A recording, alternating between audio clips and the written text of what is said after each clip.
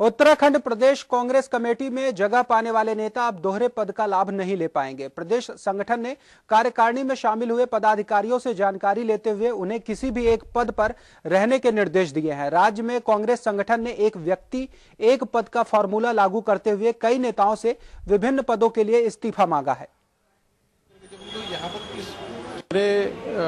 अन्य पदों से इस्तीफा देने के बाद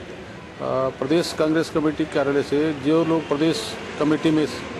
आए हैं, उनसे ज़रूर जानकारी लेने की कोशिश हो रही है कि अगर किसी के पास एक से अधिक पद है तो वो पाँच अप्रैल तक ये बताएँ कि वो किस पद पर काम करने के इच्छुक